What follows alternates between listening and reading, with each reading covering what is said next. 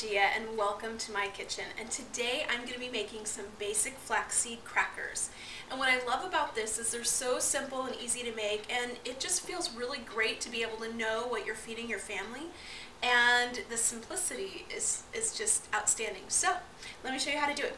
It's really easy. All you're going to need is one cup of flax seeds just like these and two cups of water. And what you're going to want to do is you're going to want to soak the flax seeds in the water. And I've gone ahead and done that. So this is what you end up with. And what I like to do is I actually like to keep my fork in, or spoon, um, keep something that you can kind of stir the mixture with because every once in a while they get kind of clumpy and you don't want that. So um, I leave some sort of mixing utensil in with my mixture as it's thickening. And flaxseed are really fun to play with because they're very gelatinous.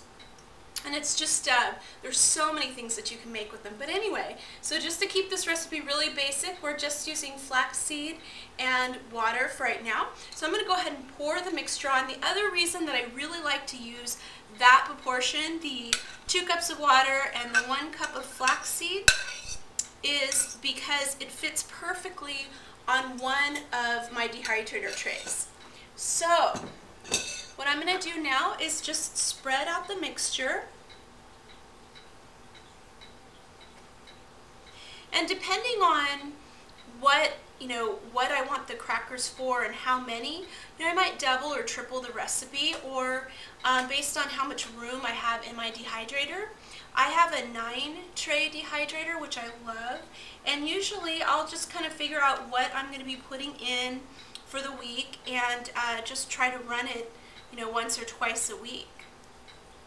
So I might be soaking and dehydrating um, some nuts or maybe some buckwheat groats to make some cereal and I'll just add that with my tray of flaxseed crackers. So we are done. It is that simple. Now I like to add a little bit of salt to the top of mine.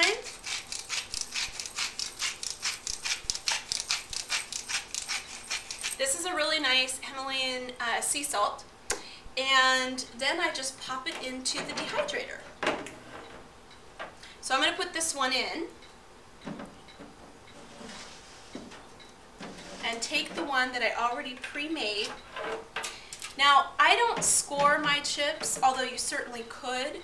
Um, I like to just make it super simple and then just break the crackers off myself. So basically, I'm going to grab a bowl here. I'm just going to break the crackers off to the size that I want.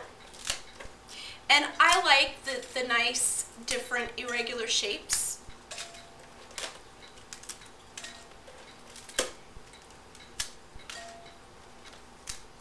And really, that's all you do to, create to create these great little flaxseed chips um, or crackers. The other thing is I like to keep this recipe really simple and plain because I really like to enjoy whatever I'm going to be having the crackers with. So for instance, I'm going to be making a pineapple salsa soon and um, that's one of my favorite things to eat with these flaxseed crackers. So hope you enjoyed the recipe and you find it as simple and easy as I do. Talk to you soon. Hope you have a great day.